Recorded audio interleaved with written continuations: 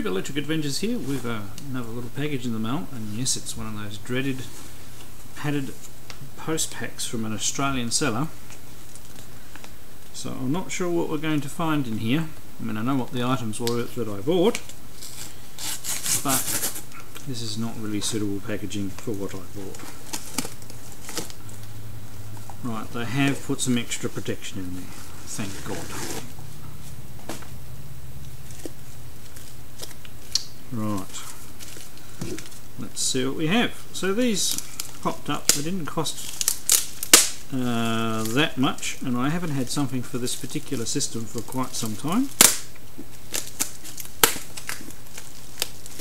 So, so that's the cardboard outer done, and then we have another layer. So thank goodness they have done a little bit more than I expected.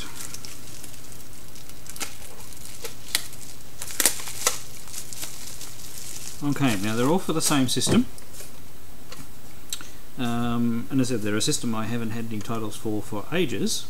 And the first one, and so they are for the Sega SC3000 or SG1000 uh, console. The SG1000 is the console, the SC3000 are the computers. And it is Space Invaders. So it's just a loose cartridge, but it's in, if my camera will behave. It's in the label, as you can see, is in really good condition. Um, and I don't have a lot of box stuff for the Sega anyway, so it's always nice to get something in the box, but I don't mind getting loose cartridges. Um, now next, we have a Sega My Card. So yes, the card games came out earlier than the Master System for the Sega systems, and we have Golf and it's complete. Let's work out how to open this carefully. So we open him up. Um, oh, well, although we do look like we're missing the instructions, so when I say complete. Um, we do have the little slip case, so we'll take it out of that so you can see it properly. So the slipcase is a little yellowed, but the card looks excellent.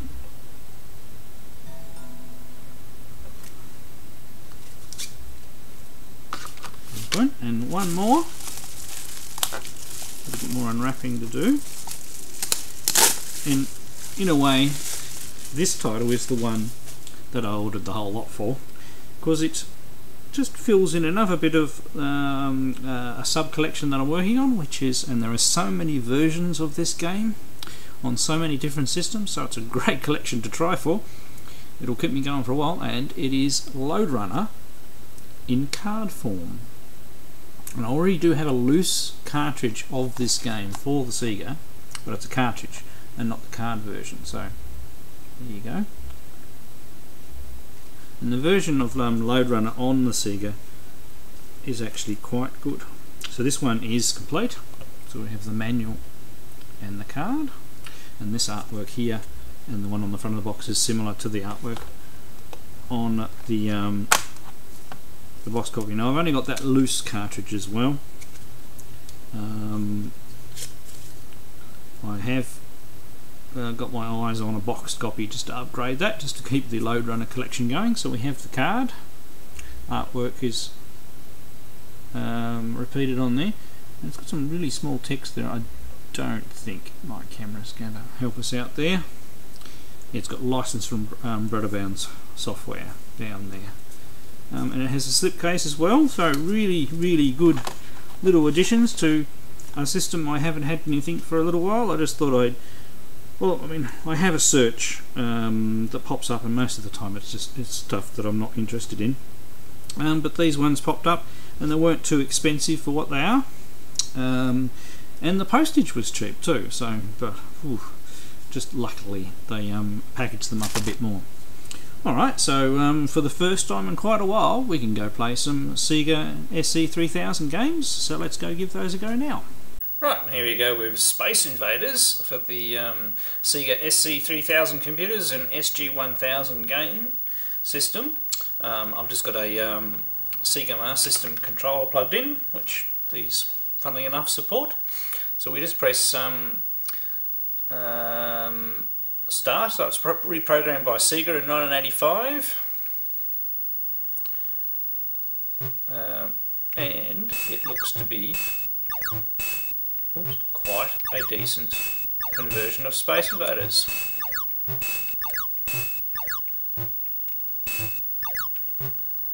Doing the old clear out the um, middle rows so we can have a go at the um, at the UFO. Now it has the um, different coloured sections for the. Um, ooh, I just got that. Um, for the different rows, uh, they keep their colour when they come down, of course. We'll just wait for another UFO. So we do a bit of point grab, and we've got um, bases down the bottom that are disintegrating, and their nice, you know, throbbing sound. Come on, where's my next UFO?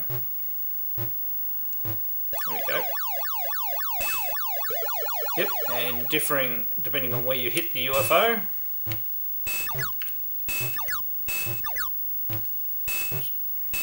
Different score. Now you've also got the slow and fast shots by the aliens, so you've got to be careful.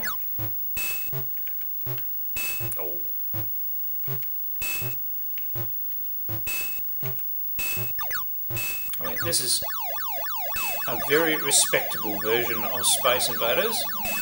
Um, I would have been very happy to have this on a um, system of mine back in the day, especially since the very first system, home system that I had, um, which was a TI 99.4. Oops, oh, there we go. I jumped, I even jumped then. Um, had um, TI invaders with it, and that was our one game cartridge.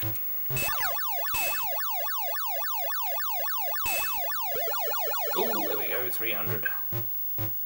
So our, the beat of the aliens is getting faster now. dangerous.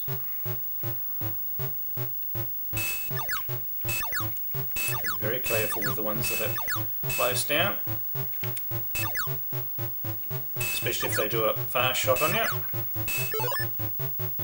Well, I get extra life.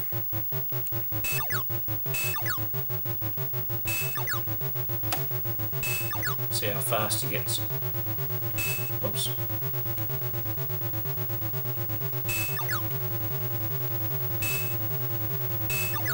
There we go. Cleared a frame. And round we go again. Little bit, um, more than likely that little bit harder.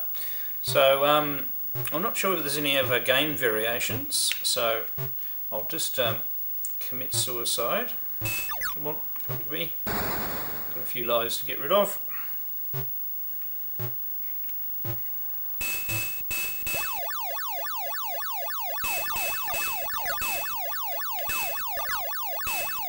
The point grabber and me couldn't leave that alone.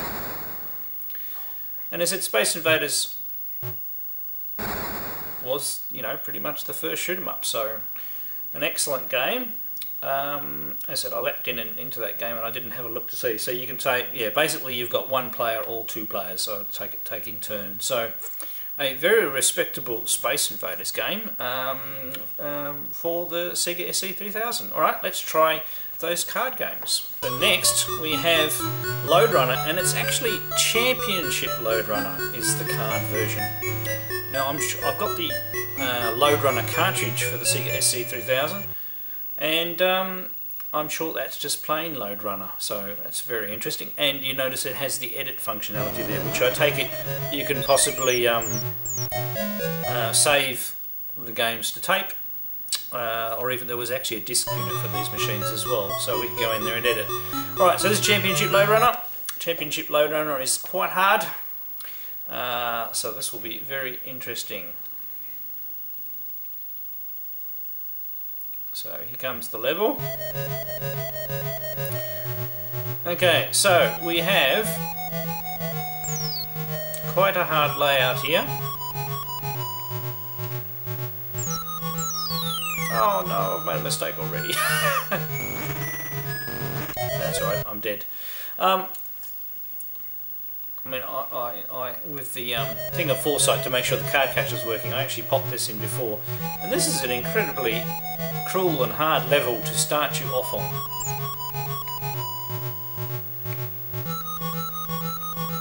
Okay.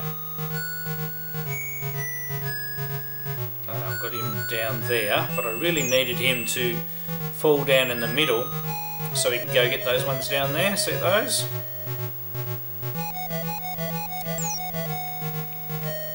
And as I said, from playing this, I already know that these are fall through, fall through blocks.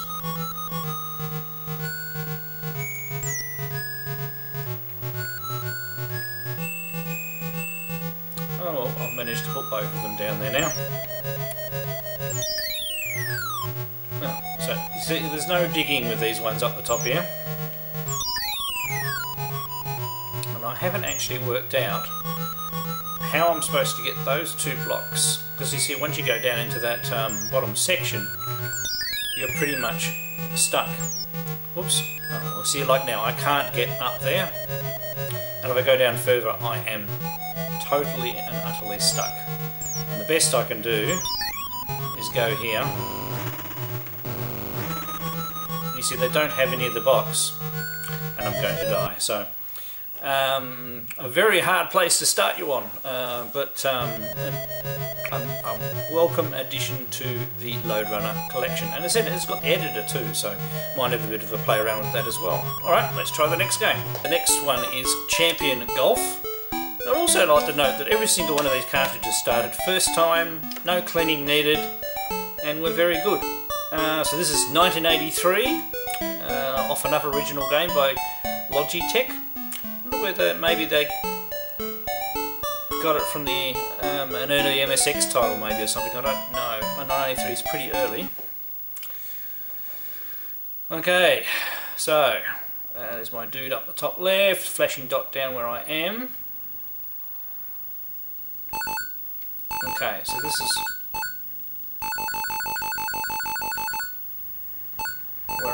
I take it.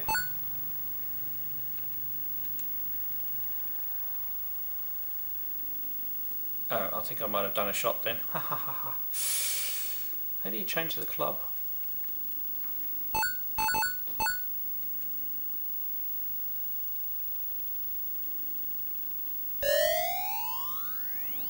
And right in the middle. Once again, this is probably one that reading the instructions would probably be extremely helpful. Right, so it's got auto club selection, so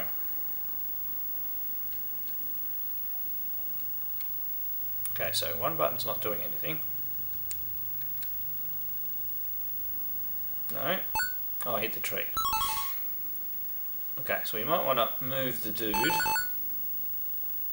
Say up there.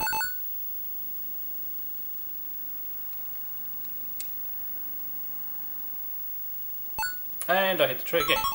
Okay. We'll sort this out. Okay, I'm over there.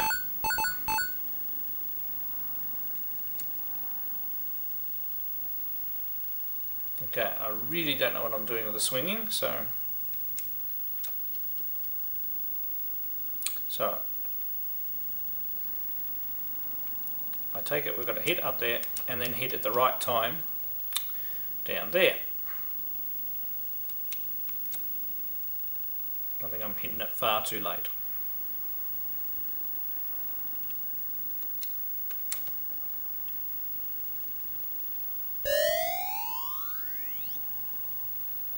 Okay.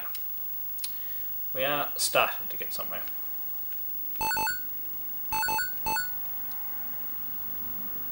Oh. this is probably the worst demonstration of this game ever. Golf games can be pretty tricky to get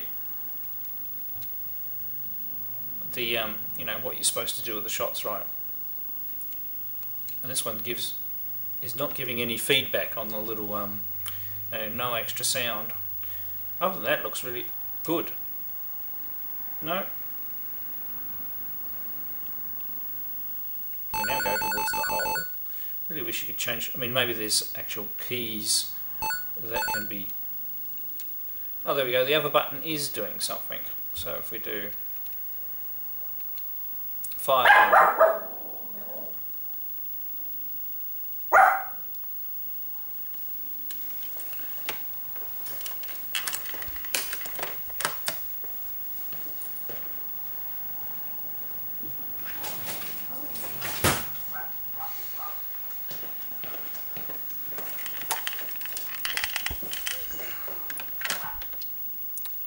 So after the slight flick there, the blinking dog barked and scared the living daylights out of me. Yay, that's better. Bloop, bloop, bloop. Okay, we are getting closer to the green.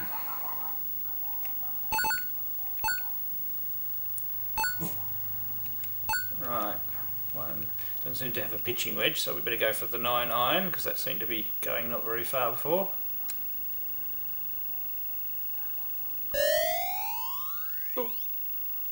Green on, okay. Wanted to get the green because, you know, how games treat the green. So there's a slope going that way. Is important. So, I take it we don't want to hit it too hard. But maybe not that soft.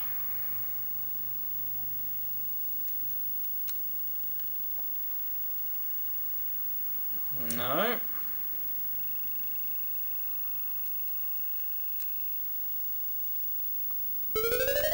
Oh, I actually think it's how long you hold the button down when you actually press the um, the shot button.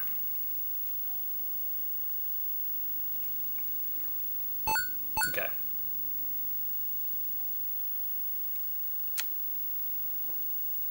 No, you still need to press it at the top of the arc as well. Okay, so once at the top of the aeroplane. yay! 21 shots. Excellent. Alright, so some excellent titles for a computer I haven't, or a system that I haven't had any titles for a very long time. Um, and uh, the same seller looks to be selling some others. Um, so you never know, I might be able to get some more. Anyway, thanks for watching. Thanks to all my subscribers. Hope you've enjoyed this video and I'll catch you next time.